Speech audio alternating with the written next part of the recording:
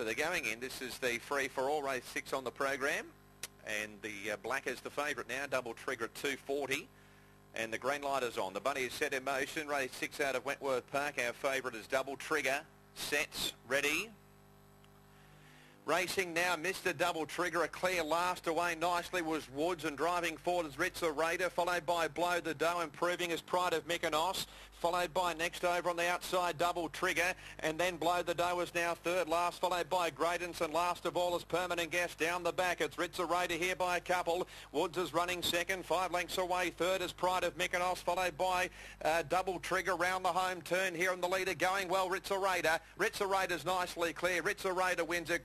Has come from second last to get up and run second. Then Woods and Pride of Mykonos, followed by Blow the Dough, Double Trigger, and Permanent Guest last. Again, they've broken the 30 around 29.9.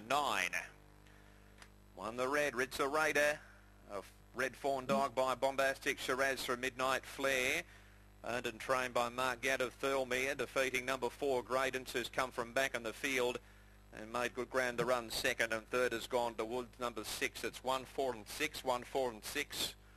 29.94 is the confirmed time. It was 5.49, 13.98, two and three quarters by two and a half, and 29.94 is the time. 29.94, it's one, four and six, and three fourth after race six.